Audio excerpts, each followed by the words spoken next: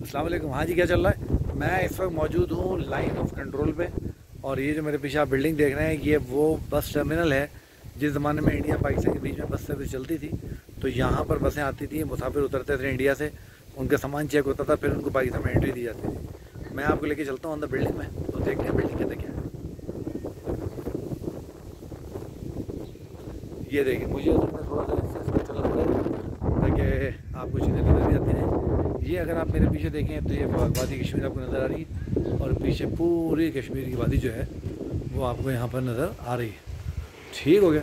अच्छा जनाब, अब हम पहुँच गए हैं गेट पे जो कि जो कि एंट्री गेट है हमारे उसका टर्मिनल का। तो ये हमारे भाई हैं जो इसको खोलने के लिए आ रहे हैं।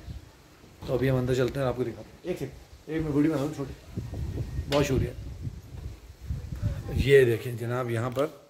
अब ये जो है आपका ये पूरा का पूरा ये वेडिंग एरिया है और यहाँ पर ये पाकिस्तान के डिफरेंट इलाकों की सकाफत को इन्होंने जो है वो उजागर किया है।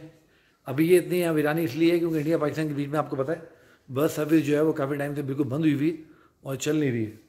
बट जिस ज़माने में ये चलती होगी तो यहाँ बड़ी रौनक रहती होगी और आई एम श्योर कि ये दोबारा भी चलेगी इन क्योंकि ट्रांसपोर्टेशन एक ऐसी चीज़ है जो चलती रहनी चाहिए क्योंकि कश्मीर आपको बताना इट्स एन ऑक्यूपाइड टेरिटरी तो लाइन ऑफ़ कंट्रोल एक बहुत थिन सा एरिया है।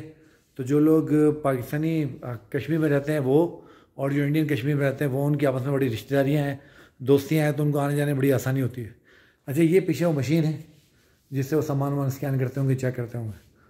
तो मैं यहाँ आया था, मुझे यहाँ आने का मौका मिला लकीली तो मैंने कहा, मैं आपको भी जो है वो ये जगह दिखाऊँ। तो उम्मीद करता हूँ जो आपको पसंद आया होगा। ठीक है? चले, अपना ख्याल रखें। खुदा हाफ़